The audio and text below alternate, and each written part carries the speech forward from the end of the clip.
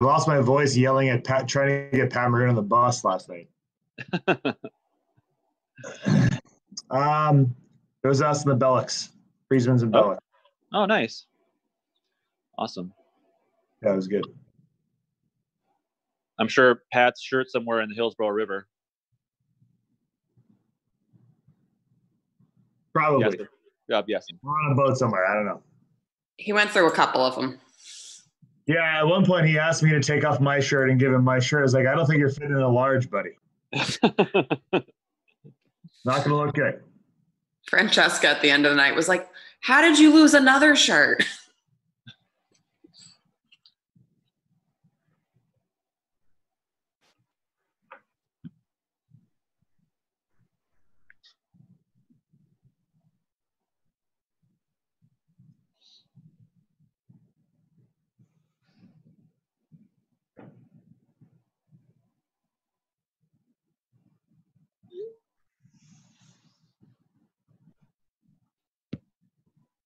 to grab Dave Mishkin his championship shirt.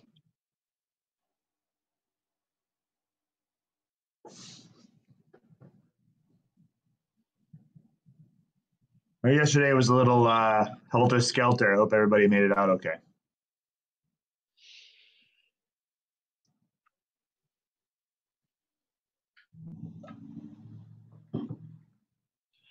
You guys should have a, a whole highlight video of. There you go. The Bolt Brew. Championship vintage. Nice. Very nice. Thanks, Eulalie.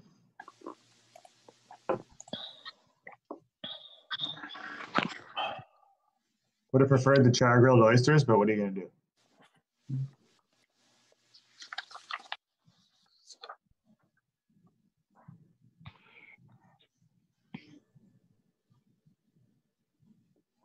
Oh, Joe's got the camera on. I'm not that. I'm not that There scary. go. so. Time's your flight, Joe? Three?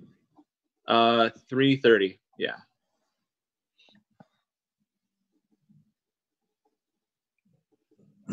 So I'm assuming there'll be a news announced at three forty-five. We're going to embargo everything until then. Okay. Good news. Yeah. I don't think Allegiant has Wi-Fi, so I think I'd be out of luck. Allegiant does definitely not have Wi-Fi. Yeah.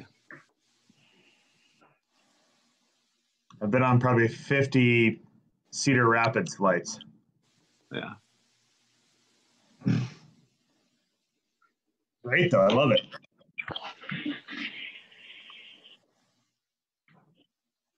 Big Allegiant guy, although not during COVID. Yeah. When you have the direct option, direct flight options, it helps. The I smaller. went Albany.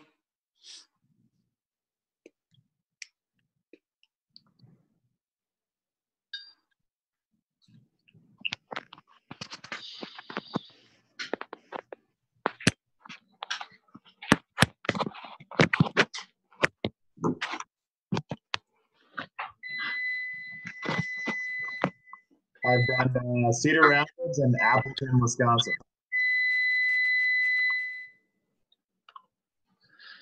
Actually, went to Traverse City direct there too from St. Pete. So We were talking about doing Asheville, but they they go direct to Asheville too. yeah. I'm going to My- Asheville November 1st. Yeah, they're talking about Lindsay. So, Jay. Joe. You can see my Wisconsin helmet back there. When's the Great. when's, when's the big game? We make another bet.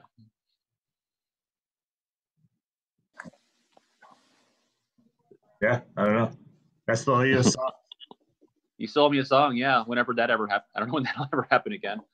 Karaoke, uh, What you know after today? After today, we're trying to be quiet for a couple days before the draft. Yeah. Next on Tuesday. So how's uh? I obviously it's virtual, so you'll I guess they'll have a Zoom with like Julien afterwards. I guess is that or with Al or is that kind of the plan? Yeah. So. And is there a the league is handling like all the big uh, zooms. So we have our setup and then we'll move from there. And but there won't be a separate Julien pre-draft Zoom. This is to be the one before the the draft kind of thing, right? Correct. You have any draft questions? I do now. Yeah. Yeah.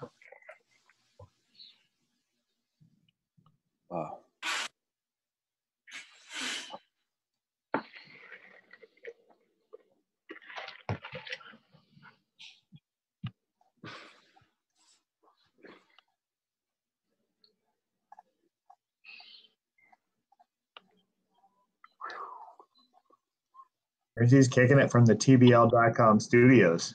Yeah. I'm kicking it from right outside your office door. I know. Burns, you got some sun, brother. It's probably just me like rushing to get here because I slept in till 10 and expected to get up at 7:30. So I'm probably ready from that. Did you pick up the tab last night? What's up? Did you pick up the tab at American Social last night, Bernsey? I didn't go to American Social. I was done as soon as we got back from Raymond James. Where did he up the tab for the 50 hot dogs I was asked to order? Not really. Just kidding.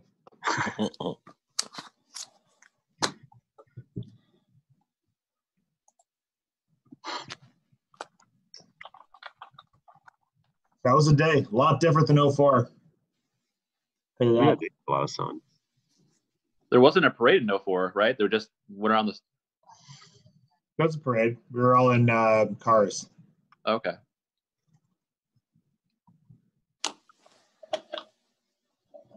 All right, here we go. You guys ready? Yep. Yep.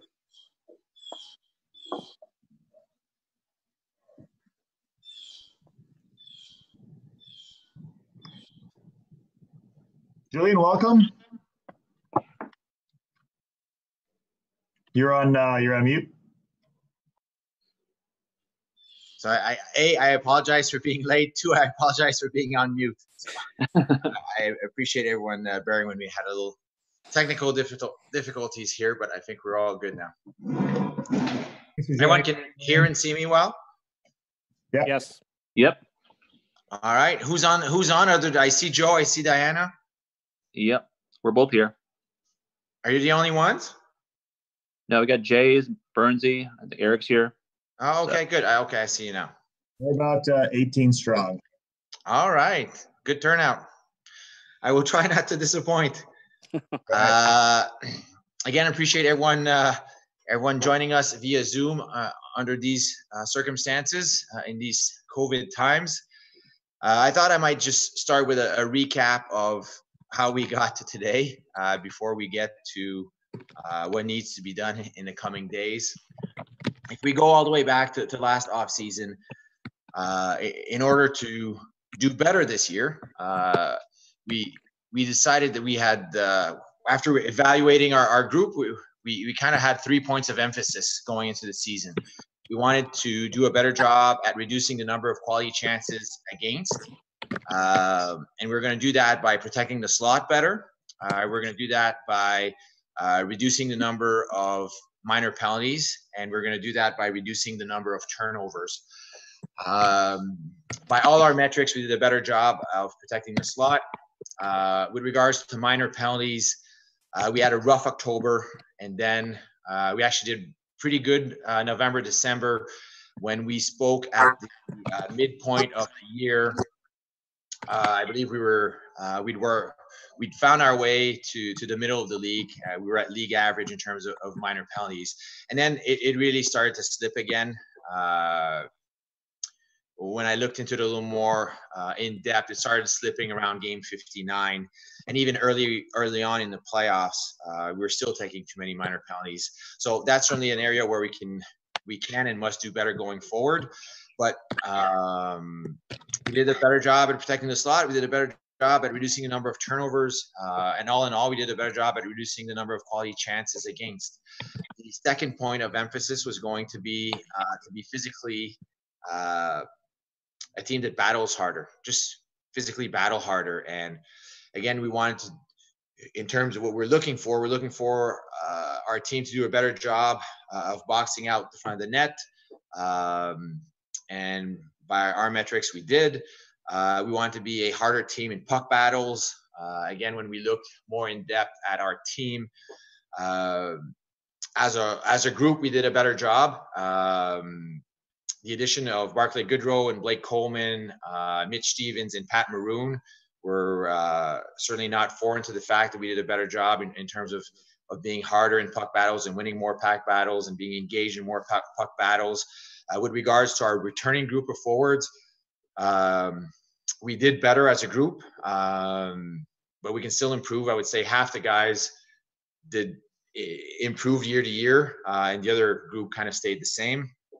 The other area where we wanted to do better, uh, still within the theme of being, you know, physically battling harder, we wanted to have more of a net front presence, uh, and we did that this year. And in particular, we did that during the playoffs, and it paid dividends for us. So um, we did a better job overall reducing the number of quality chances against. We did a better job overall uh, being a team that's physically harder, uh, that, that battles harder physically. Uh, and the third area where we wanted to be better was uh, we wanted to manage the game better. And it was a work in progress throughout the season. Uh, I think I mentioned that at, when we met at the mid-year point. Come playoff time, we did a we did we did a really good job, and you have to at that point. Uh, and we are able to uh, close out games and um, protect leads. Uh, it, and even when we didn't, it wasn't necessarily because we did a bad job. Sometimes it's a bad break. Sometimes it's the other team making a great play, and you have to tip your cap to them. So, again, to, to, to, summarize, going into the season, we want to reduce the number of quality chances against. We wanted to be a team that battles physically harder, and we wanted to manage the game better, and we did that. And because we did, we were a better team.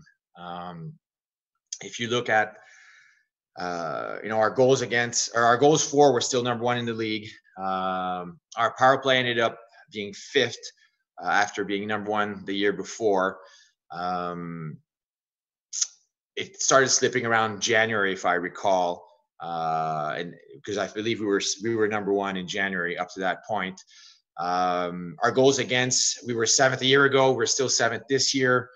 Uh, but we really improved after the third, the first 35 games of the season. Uh, so uh, we were trending in the right direction again. All this is a work in progress. You're trying to build up to peaking at the right time, and that's playoff time, all the while accumulating enough points to qualify for the playoffs. Our penalty kill ended up being 13th. Ideally, you want to be in the top 10. Um, our, our numbers were a little bit skewed by the fact we had a really rough October. Uh, and then we were playing catch up from that point on. Uh, but we did a really good job from November 1 up until the trade deadline. Uh, I believe we were we had the number one penalty kill during that stretch. So um, all in all, like we had a good team, and the numbers kind of support that. At the trade deadline or, or following the trade deadline, uh, the results weren't necessarily there right away. Uh, our penalty, uh, our power play was still, you know, kind of going through some some some challenges, I guess. Uh, and those challenges that started probably again in January. Uh, our penalty kills kind of slipped, which was ironic considering the type of players that uh, we went out and acquired. Um, our goals for went down a little bit. Our goals against went up. So everything was kind of trending in the wrong direction af- after the trade deadline for that very small sample. And that's somewhat to be expected. Maybe you have all these new players coming in, and we had you know three new players come in at that point, which is is is a lot. It's more than ten percent of your team, uh, and it kind of changes everyone's role. Not everyone's role, but a lot of the players' role, and everyone's kind of figuring out where they sit and where they where they kind of fit in all this. And uh, I guess that's probably uh, normal that we we we didn't necessarily see the results right away. Uh, if I, I, go back to my mindset at the trade deadline and, and, kind of what I was looking at at that point, um, once again we were a cup contender at the trade deadline, and I believed I had to try to give ourselves absolutely every chance to win the cup this year. That's what you do when you're a contender, and as opposed to last season where I really didn't see positional upgrades. Uh, they were kind of tough to imagine considering how the team was humming. Uh, again, at that deadline, we were number one on the power play, number one on the penalty kill, first and goals for, first and goals against.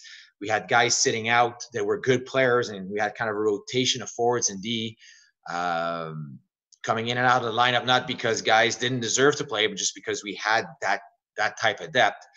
This year, I thought we we could really benefit from adding some players. Uh, and, again, in particular, I felt we could really benefit from adding two forwards that were going to be hard to play against, bring some size, bring some bring some snarl, uh, some sandpaper.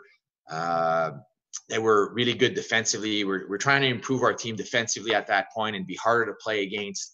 And um, and then when Jan Rutta got hurt, then we had to also consider adding uh, another defenseman, another right shot defenseman.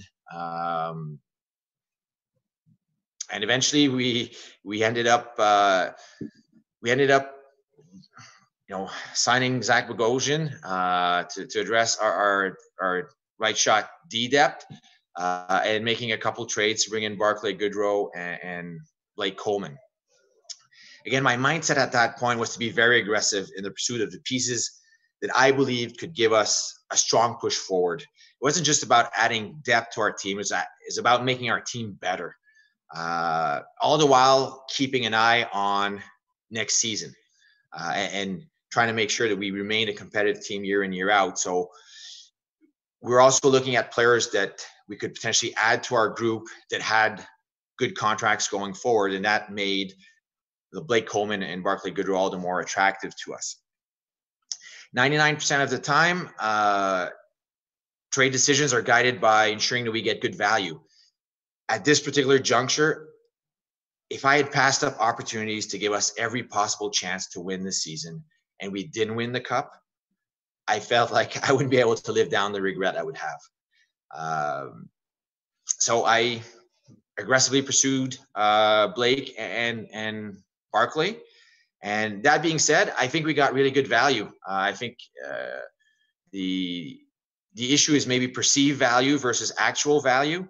Um, if you look at the value of, well, first of all, the acquisition of Barclay Goodrow, if you look at the acquisition cost, if you break it down, the trade was what was going to be a late first round pick for Barclay Goodrow, uh, two seasons of Barclay Goodrow at a really good cap number, and a third round pick. So really, the acquisition cost ends up being the difference between the probabilities that our late first round pick, uh, the player we are going to select with our late first round pick, was actually going to turn into an NHL asset, a player that plays, you know, regularly on on an NHL team two to four years from now. Is the difference between that and the probabilities that our third round, the player we're going to select in the third round, ends up being an NHL contributor two to four years down the road.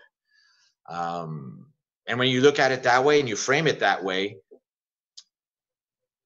I think we ended up getting great value in in, in acquiring Barclay Goodrow. Uh, if you look at the Blake Coleman trade, again, it's the value of, of a late first round pick and a, and a good young prospect. The probabilities that that late first round pick ends up being a uh, you know a top nine forward like Blake Goodrow, uh, like uh, Blake Coleman is less than fifty percent. Um, that's why if you have a guy who is an established, proven top nine forward, they usually get traded for more than simply one late first round pick. Um, the Blake Coleman example is one, but we also traded JT Miller a year ago for a first round pick and a third round pick. Um, and not to get into what other teams have done or mentioned specifics, but if you look around the league and you look at similar players to Blake Coleman that got traded, they never go just for a late first round pick. There's always more to the trade than that. Uh, because you have the one that's a sure thing, Blake Coleman. He's he's got an established uh, he's got an established track record versus that late first round pick, which is you know less than a 50-50 proposition, two to four years down the road. And then I thought we got obviously good value in in uh, signing uh, Zach Bogosian because we didn't have to give up anything. We had the cap space to bring him in. We didn't have to give up any assets.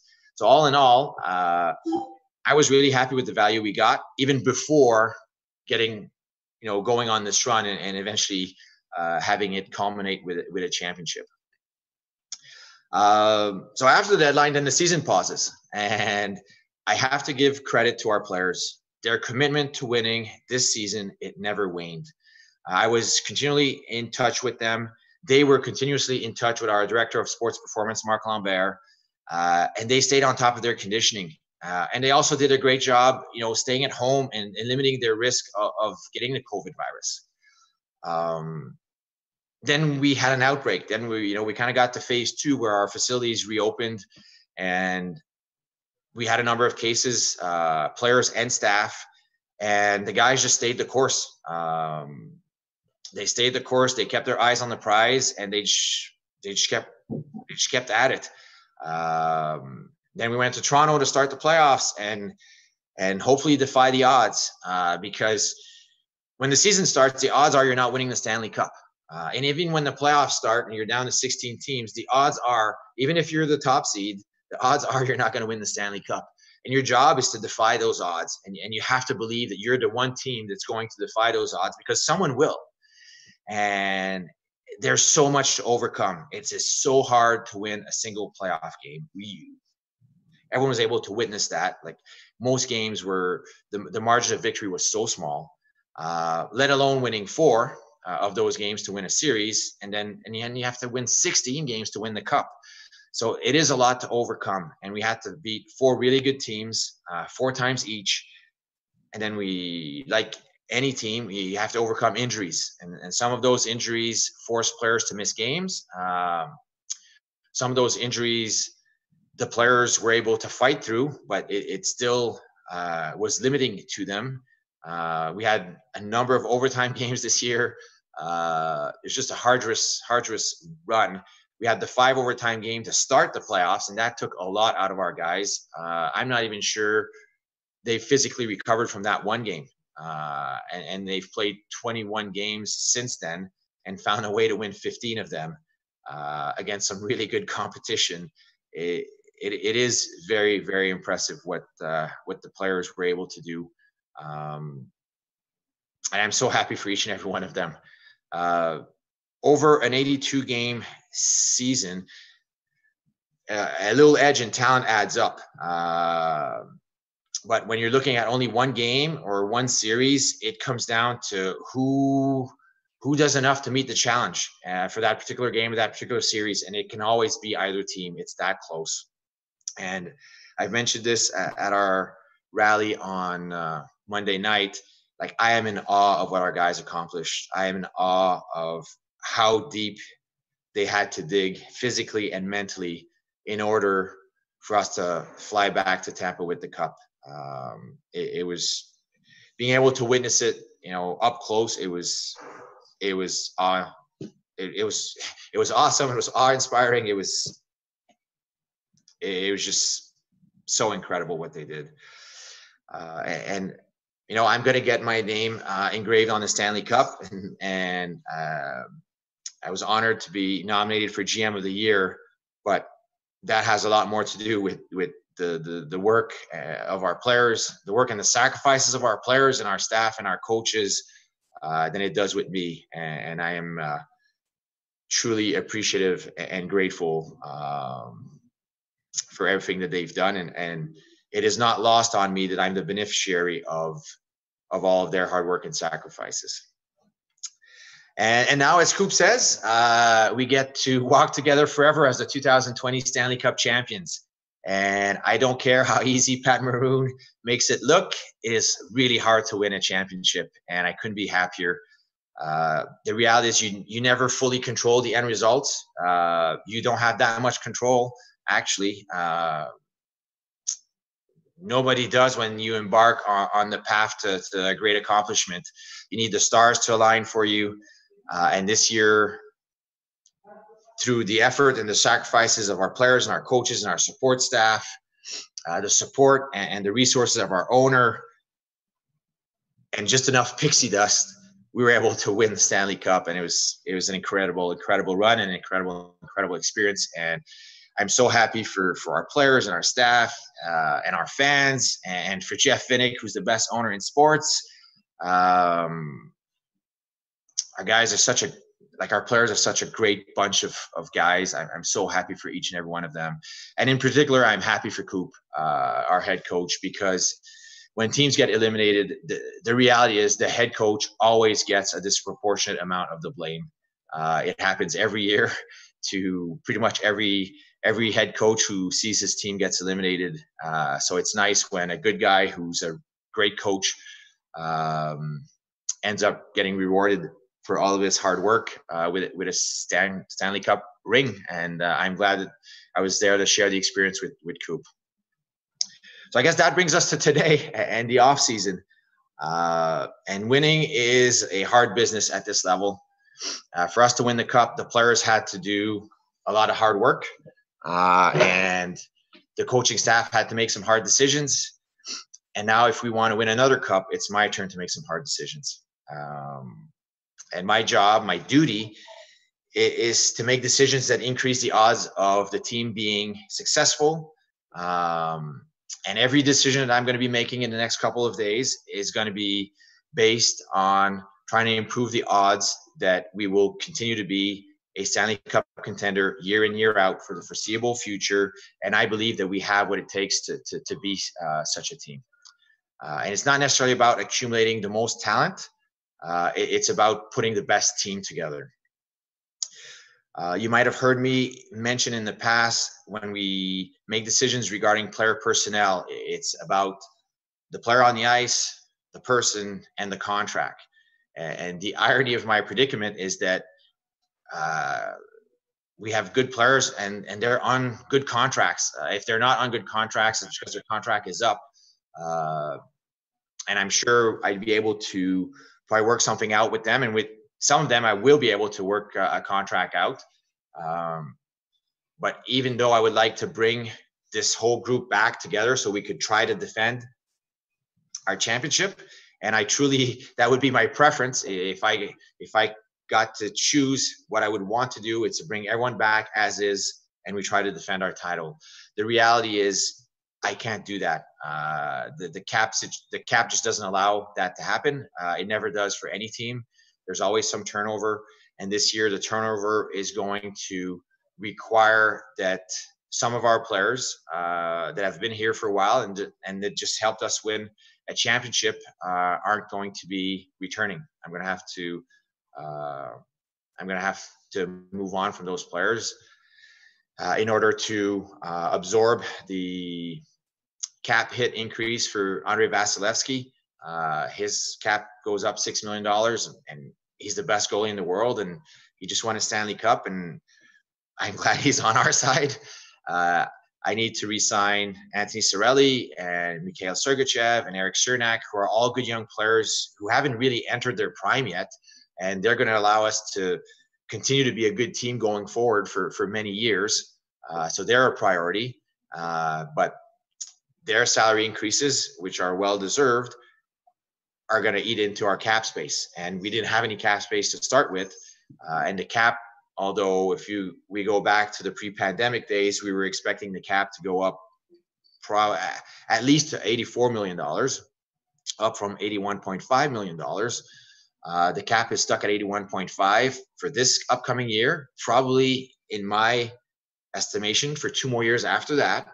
Um, so hard decisions are going to have to be made, and, and some players are going to have to be uh, moved out of the organization uh, to make room for for to kind of reallocate our cap space. Uh, and other players that are free agents that I would like to bring back, I might not be able to bring back. I won't. I just won't simply have the cap space to do that.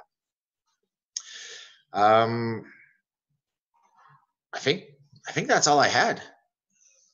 I'm gonna throw it out. I'm gonna throw it out the questions if there are any left. Can We open up to questions. Um, Julien, you mentioned uh, injuries in the playoffs. Um, are there any updates you can share with us um, with a short off season? Is um, Steven in any question to be able to start next season? Is that a concern at all? No, we fully expect him to be uh, to be ready for next season. Um, as you all know, uh, Steven had uh, sports hernia surgery in uh, prior to the the pause, uh, and actually fully recovered from that injury and was a full participant in our phase two. Um, did a tremendous job rehabbing during during the pause and, and getting himself ready. Uh, but as it happens sometimes with all injuries, but this injury in particular, uh, sometimes your body compensates and uh, it, it, eventually triggered uh, probably what we believe is a compensation injury uh, that has kind of developed into or turned out to be what we think anyway uh, related to the this injury. I don't know all the specifics yet, to be honest, just because uh, we are we have a consult uh, coming up with a specialist next week uh, that we're setting up for Stephen. The, the whole pandemic certainly didn't help his cause because it was hard to you can you couldn't send him anywhere to go see specialists. Uh, if he goes out of the bubble, now he's he's got a quarantine again. Uh, what's the trade off? he wants to be around the team. We want him around the team. It, it certainly complicated matters, uh, and I will know more next week. But what we expect this to be is potentially a, potentially another injury, but we're talking about weeks of rehab, uh, not months of rehab, and we fully expect him to be ready for the start of of training camp whenever that will be. do you have a question? If you do have a question, please just uh, hit the raise hand function. Don't see a raise hand, Breeze. Jay has his hand raised. Is that uh, is that an accident, Jay? You're on mute. You're on mute, Jay. Go. I swear this isn't my first time. Julie, can, can you just talk about the reception that Tampa Bay had uh, yesterday when everybody was going around on, on the boats and just everything from the airport to uh, the end of the night last night at Raymond James Stadium? I didn't know what to expect. I don't think any of us inside the bubble knew what to expect. We weren't involved in uh, the planning of uh, the celebrations, and we've kind of we've been not kind of we've been secluded for 65 days. We're kind of a little bit disconnected from what's going on in the real world, uh, and it blew whatever expectations we could have had out of the water. No one expected this kind of turnout. Uh, the parade on the water was memorable uh, kudos to the people that organized it. Uh, it, it, was just an awesome experience. The, there are no words. The to see that many people turn out to uh, cheer and support our our players, and, and, for us to get a chance to thank them uh, and show them the cup that we've all won together, uh, fans included, uh, was just a, a series of moments that none of us will ever forget. Like in your life, there it's just a certain number of days that you're going to remember that you're going to have a vivid memory of uh, and, and they they are reserved for things that are remarkable and this whole this whole run had a number of them and this week in particular the celebration on the ice in the locker room after the game the flight back the reception when we landed uh, the rally at Amalie Arena on, on uh, Tuesday night uh, the parade yesterday, the rally at Ray, Raymond James. That's that's a lot of memories uh, and and a lot of motivation for us to do this again. It was that cool. Bill Smith. Thanks for doing this. Um, I know you guys didn't just get off the plane on on Tuesday and realize you had a cap crunch you had to deal with. You've been planning for this for a long time now. Um, as far as the familiar faces that that probably have to go, how much of a challenge is it with some of the no trade clauses you have in those contracts of not having that kind of flexibility? And do you anticipate having to make some of those moves before the draft uh, on Tuesday? I don't have a timeline, uh, and I'm still gathering a little bit of information. Um, obviously, the, the the sooner we can have all the information we need, the better, because it just potentially uh, uh, probably the, the, a better way of, of, framing this is the longer we wait, the fewer options we may have uh, because uh, other teams might have done something else and, and taken themselves out of, of the opportunity to, to do business with us. So I've already been in touch with uh, with uh, actually all the agents of our players uh, to kind of give a little bit of a timeline. and uh, all the players that are up, whose contracts are up, uh, will start uh, connecting with uh, my uh, colleagues from around the league in coming days. But we're still gathering some information, and eventually, all I know is by the time the 2021 season starts, we'll be cap compliant and we'll have a really competitive team. Any uh, further questions? Diana, go ahead. Joe, can you mute yourself, please? Sure. Um, Julien, what were the keys to kind of surviving the bubble? Um, everyone talked about the mental strength it took to get through this, and um, what were things you guys found that you tried that maybe worked? Maybe were there early try early attempts that didn't work as well, and you pivoted to new ones? Just what was that kind of? How did you figure that out? Well, first of all, I think everyone's experience was different. Uh, even within our 52 uh, person travel party, everyone's experience was different because our responsibilities were different, so our realities were different, our personalities were different. Uh, I think it was probably the most challenging for the coaches because um, it was very hard for them to get away from coaching in the playoffs is so demanding. It's almost 24 hours a day already, just in terms of all the things you need to do and how quickly the games come at you. Uh, and usually you get a couple hours a day to kind of escape, and there was no escaping, especially once we got to Edmonton, uh, where we were a little more secluded than in Toronto. Um, I think uh, not that they've mentioned it to me, but putting myself in their shoes, I thought they had the uh, probably the hardest uh, the hardest run at it from a being confined in, inside the bubble. Um, I think the for the players again, it depends on your personality. It depends on what your role was. Kudos to the guys that that for the most part didn't play as many games and had to practice all those days and, and keep their conditioning up. And we saw why it's so important because up to the last game, uh, Alex Volkov shows up, plays a big part in us winning that game. He hadn't played a single game yet, but practiced his butt off every day, stayed on top of his conditioning, kept himself ready, came in and, and helped us win a Stanley Cup. And now he gets his name etched on it forever. Uh, kudos to the guys who didn't play a lot of games because it's probably hardest on them. Uh, with regards to the other guys, again, it depends on your personality, but come playoff time, you don't have that much downtime anyway you're practicing uh, or you, you get ready for a game, you play the game, you recover from that game, you play a game. You recover from that game, you play a game. There's not a lot of downtime. Uh, but for the guys who didn't play as much, it was certainly tougher. Um, when we had that stretch of five or six days off, it was probably really beneficial for our players' bodies that they got a chance to recover. Uh, but you didn't want to do that for too long because that's when you actually have some some downtime and it can get repetitive really quickly. I think for the people like myself who are in management, we had it the easiest. Uh, actually, I can't say that we none of us in our when there was four of us in our management group. I was there with uh, Jamie Pushor, Mathieu Darche and Stacy Roest, and we were kind of a team of four.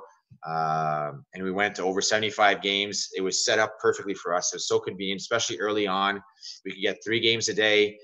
We're in a nice suite with a good view on the ice. Uh, food was good. Uh, we got to see a lot of the same teams play a mul- you know multiple times. So there's 11 teams that we saw play live at least four times each. Gives you an opportunity to get a better read on that particular team, their needs, their strengths, their weaknesses, things they may need to address, uh, get a good evaluation on their players. Some teams, obviously, we saw more than four times.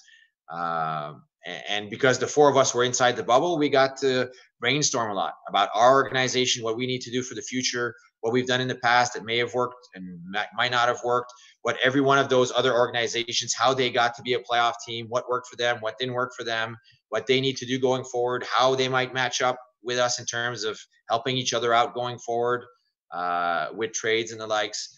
Uh, it, it, it was a really productive experience for us in management. Uh, our schedule was busy enough uh, with work to keep kind of keep our minds uh, sane. And then we had just enough downtime to also have some leisure, especially once we got to Edmonton. There were fewer games to scout. Uh, then we had we had more time to honestly to play pickleball and tennis and keep ourselves uh, keep ourselves mentally and physically fit. Julien, we'll go to Bryan Burns. Julien, I wanted to ask, go back to to Zach Bogosian and the decision to pick him up. And I'm wondering when you got him at the trade deadline, you had kind of longer term injuries to McDonagh and Rutta. There might have even been a, a, minor injury to someone else on the blue line. I can't recall at that time. But if you don't have those longer term injuries to McDonagh and Rutta, are you looking to pick up a Zach Bogosian at that point? Was it more a case of you you needed somebody at that time just to kind of fill in, and it turned out to be a benefit to you in the long run? It certainly picking up Zach Bogosian certainly ended up being uh, a key decision, I think, in our success uh, because he was an important player for us on the ice. Uh, to answer your question, candidly, I don't know because by the time Zach Bogosian became available, we'd already had those injuries. So we'd already started looking at okay, how could we address a potential need there? Uh, not knowing, you always have a timeline, an expectation of when a player will be back. Uh, but as we saw with Steven Stamkos, sometimes it takes longer than expected. Uh, so in order to make sure that we were covered there, we'd already started looking at options. So if everyone had been healthy uh, and Zach Bogosian had become an unrestricted free agent all of a sudden, with the fact that he didn't cost any assets would have been sufficient for us to go out and make the decision to bring him in? I don't know. I, I didn't live like it didn't play out. It didn't play itself out that way. Uh, maybe because again, uh, there's very little. There was no acquisition cost, so that certainly makes it appealing. You're you're bringing in an NHL player with significant uh, experience, who's got some size and some skill, and who can say uh, who can skate. Like he's a good player. Um, so that could have been appealing. At the same time, do you want to rock the boat? Uh, you already have a good thing going your D pairs are well matched and you've got some good chemistry, and you're already considering bringing in two forwards, you have to integrate all these new players. And the more new players you have, the longer it might take to integrate everyone. So I don't know because, again, it didn't play itself out that way. By the time Zach became available, we were already looking for someone. And he was the best option. I'll go Jay Retcher. Julien, I wanted to ask you, you kind of alluded to it a little bit before when you were talking about Cirelli and Cernak and Sergachev, but I just wanted to ask you, were there any other players that kind of took that next step in your mind or maybe somebody else that kind of caught your eye over the year, whether their impact was either on the ice or off the ice? Uh, well, I think the player that was most improved this year was, was Mikhail Sergachev. Uh, he really turned a corner you never know, but I, mid December, I think he was starting to turn the corner. And then I believe that game was on December 31st. We played in Buffalo, and he just played a monster game. He got into a fight with Jake McCabe, and he was just a physical presence. And then I think the next game may have been the the game against Montreal, where he kind of ended up uh, he ended up tangled with uh, Shea Weber, who is a mountain of a man, uh, and held his own there too. Uh, and I think that that that physicality that he started to show uh, allowed him to play with even more confidence and becoming a more effective uh, shutdown defender. Uh, and then the coaches started giving him more penalty kill opportunities because of that. And he did a great job blocking shots, and he really progressed. So he's probably our most improved player. Uh, you're looking. I think part of your question, Jay, was also who uh, who impressed me or maybe who exceeded expectations. Uh, Kevin Shattenkirk was an incredible leader for us. He's his contribution. He both Kevin and Pat Maroon, who we signed uh, with with them bringing some leadership to our group in mind, they still both managed to exceed my expectations in terms of how much they brought to our locker room, how much they brought to our team uh, both on and off the ice. Um, so not that my expectations were low, they just they still found a way to to manage to exceed my expectations. They were key contributors to to our team uh, and they may have been exactly what we needed. So um, it's nice when things work out. We'll go two more. Eric. Yeah, thank you. Uh, first of all, Julien, I'm impressed that you remember the timeline specifically because I'm not even sure what day today is. I'm not um, sure what today is. I have a recollection of the past. Um, j- just a, a, quick two part question. Uh, I know there's specific circumstances for guys who get their name on the cup. Will you be able to sort of make sure that maybe all 28 guys that, that were there with you in the bubble are able to get that to happen? And then, second of all, is it in some ways like this is the shortest um, gap between the end of the cup and having to deal with the off season? Like, how much time do you get to actually enjoy it and appreciate it from your standpoint? Um, to answer your first question, I have not had time to look into any of that. I've kind of delegated that to others because, as you mentioned, I have a very short off season and I have other priorities, and someone else can take care of that. My early understanding is that uh, at least 27 of the players that were there uh, qualify under the current uh, standards to get their names etched on the cup. Uh, we're still looking into the 28. Uh, and I also want to mention the contribution of the four players that came in for phase two that didn't go uh, with us to uh, to Toronto. Alex Barré-Boulet, Luke Witkowski, Gemel Smith, and Spencer Martin. They all helped us get ready for for those playoffs, and we will make sure to acknowledge their contribution as well. Two more. Joe. Oh, and I think you had it. Yeah, and your second question, Eric, sorry, was uh, the short turnaround. Yeah. Um, it's funny. I met with Jeff Vinik this morning. He asked me the same question, and I said, I don't, I don't know if this is actually the shortest turnaround ever. I, I'm not sure that's true. It's always short, but I know that in 2015, when we went to Game Six of the Stanley Cup Finals, I had the same turnaround, but I didn't win the cup. This is way better. Uh, we'll go to Joe and then Diana, and then we'll uh, close things. Hey, Julien, a couple quick ones too. Do you anticipate using uh, a buyout option? And with the, um, how do you typically approach when you make deals with no trade clauses? Do you keep them in the loop in the process, or do they, that's the final thing to deal with is talking to them afterwards? To answer your first question, no, I don't expect us to uh, be buying out anyone. We're in a good situation in the sense that from from managing the cap efficiently, we don't have any buyouts on the books uh, going forward. We don't have any uh, performance bonus overages going forward. Uh, we don't have any contracts that we're going to have to bury in the minors and still take a cap hit on going forward. Uh, and all the contracts that we have, I think, are all good to excellent. Like these are good players, uh, and they're under good contracts. So I don't expect that. I don't expect the need to buy anyone out uh, to uh, to get out of the cap hit. I think every single one of those guys, there will be a market for them. As to your second question with regards to keeping guys in the loop, obviously there's ongoing dialogue, or there will be. Um, I think it's important for everyone to get a chance to properly celebrate this championship um, as a team with their teammates. I wish I didn't have to have the types of conversations I'm going to have to have as soon as I will, but it's just the reality of our business. Ultimately, it's in their best interest too. The the sooner they know, the better for them as well. So, we'll wrap things up with uh, Dan Neris. Just something you said about, um, or what you said about Shattenkirk and his leadership, kind of sparked this. But how do you assess looking? You know what leadership somebody can bring into the group as you're acquiring new players. It's one of those things that like I'm sure you talk to people within other organizations, but you know that's such a a, a uh, amorphous concept. You know, doesn't directly relate the way that an on ice skill does.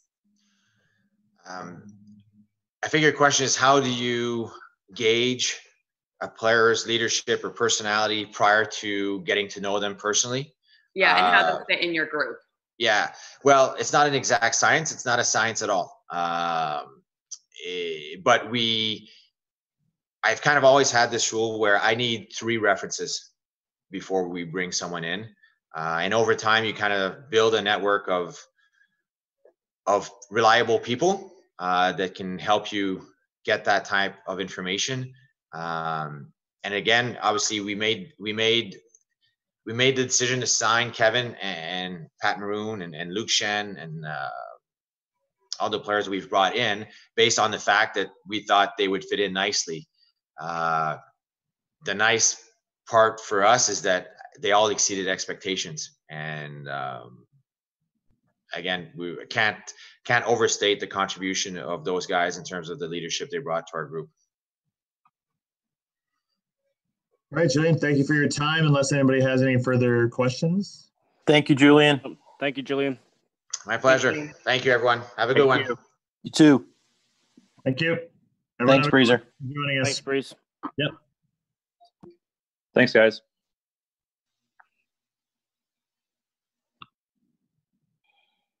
Safe travels, Joe. Thank you.